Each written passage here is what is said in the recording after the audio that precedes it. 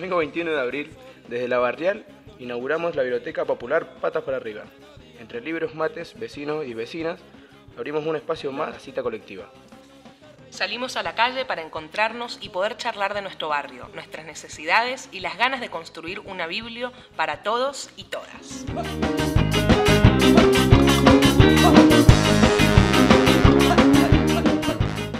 Los más chiquitos se encontraron a pintar y a jugar. La murga nos hizo bailar a todos y la ronda de mates nos reunió para compartir, charlar y conocernos un poco más. Con mucha alegría empezamos a dar comienzo a nuestros talleres de capacitación laboral, apoyo escolar, murga y mucho más. Vení, acércate, te esperamos.